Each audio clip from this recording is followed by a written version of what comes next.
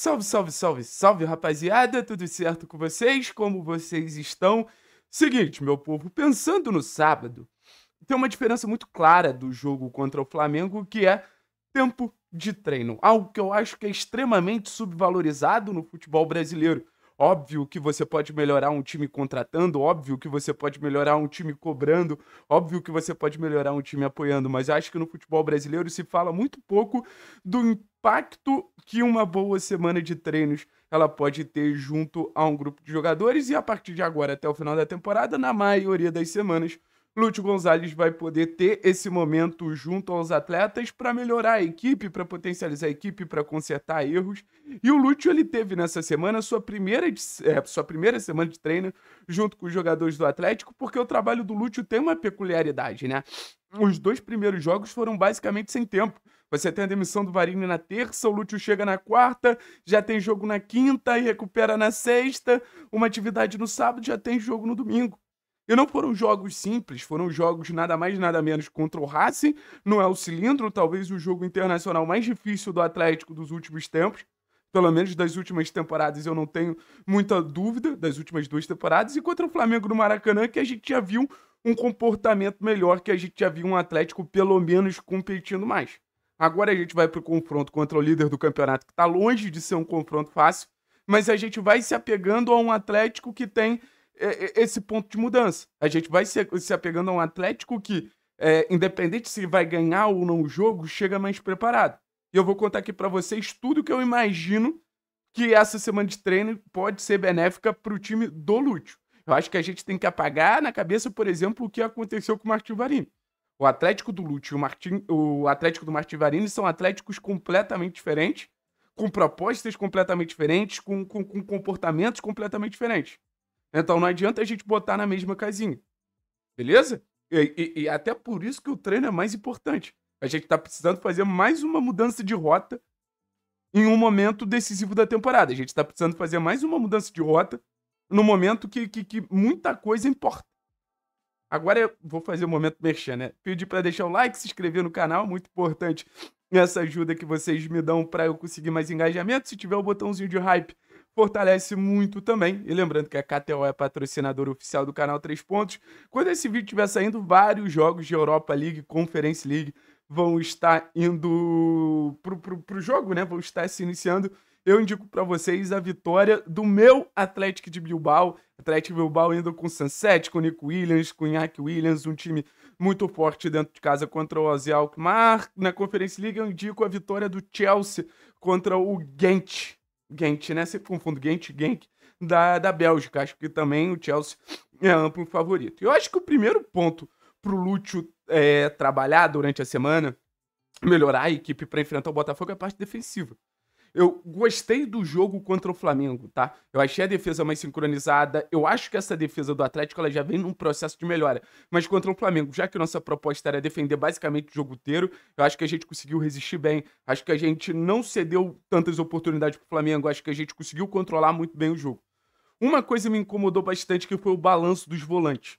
O balanço dos volantes para tentar neutralizar a entrada da área me incomodou um pouco. Acho que o, o, Christian teve um pouco de dificuldade de fazer esse movimento, o Eric teve um pouco de dificuldade de fazer esse movimento.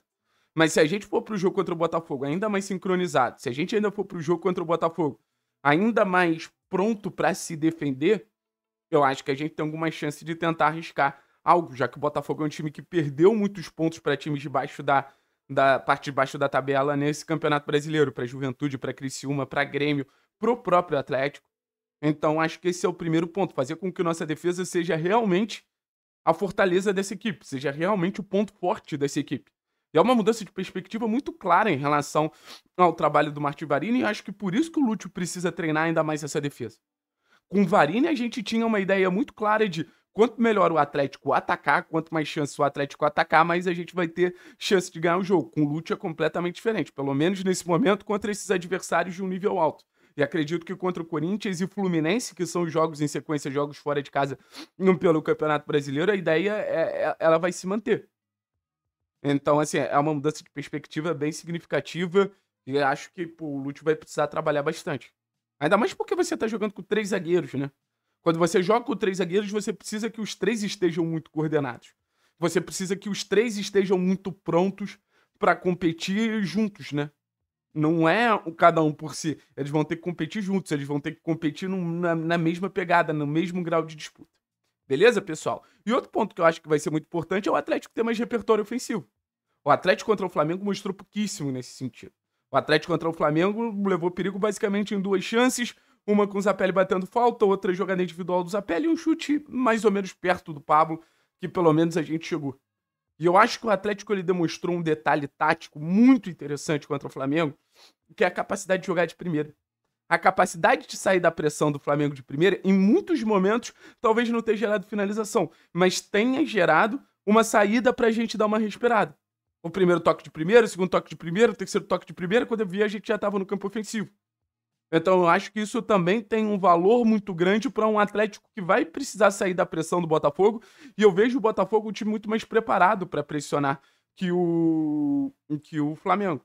É um time claramente mais, mais preparado para pressionar, até pela capacidade física que o time do Botafogo tem. Então acho que é outro detalhe que o Lúcio ele precisa ajustar e, e potencializar para que a gente chegue mais ao gol do John. Outro detalhe que eu acho que é importante tentar conectar mais o Coelho do que foi conectado no último jogo. Coelho, ele, ele vai ser esse ala, né? A tendência, pelo menos, que seja esse ala. Jogador de muito um contra um, jogador de muita força para levar essa bola em profundidade e para fazer cruzamentos. Óbvio que ele vai ter um confronto dificílimo ali, seja com Alex Telles, seja com o Cuiabano, seja com o Marçal, não sei quem vai ser o lateral esquerdo do Botafogo. Mas eu acho que também é, uma, é um desafogo, além do Canóbio, pro Atlético ele procurar a partir do momento que rouba a bola. Roubou a bola, acelerou, procurou o Coelho. E de verdade, no último terço eu tenho mais esperança que o Coelho seja uma alternativa positiva pra gente criar alguma coisa do que o Canoli. Eu acho que um jogador também precisa melhorar muito e eu espero que o Lúcio corrija um posicionamento porque foi muito mal contra o Flamengo, que foi o Lucas Esquivel. O Lucas Esquivel é muito importante pra gente, obviamente para compor a linha, mas o Lucas Esquivel ele é muito importante pra gente também no sentido de, pô, ser uma presença ofensiva. Então ele precisa estar seguro defensivamente para começar a aparecer ofensivamente com mais segurança.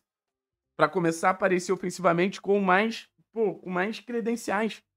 Você ter o apoio do Esquivel pelo lado esquerdo, principalmente em ataques diretos, dobrando com o Canobi, até permitindo que o Canobi venha para dentro para gerar, eh, gerar profundidade, mas gerar superioridade numérica por dentro, igualdade numérica por dentro, gerar volume para o momento do cruzamento, para não ter só o centroavante na área, eu acho muito importante. Então, assim, é um início de trabalho, o Lúcio tem muita coisa para ajustar, mas na minha visão não tem nada melhor do que ajustar um time do que treino. Treino e mais treino e mais treino. Ainda mais a gente sabendo que existe uma ligação muito forte do Lúcio com o Paulo Autor. Então, a partir do momento que você tem essa ligação, você também tem é, uma voz muito ativa, com capacidade de ajustar problemas, com capacidade de resolver situações. Valeu, pessoal? Tamo junto. É nóis.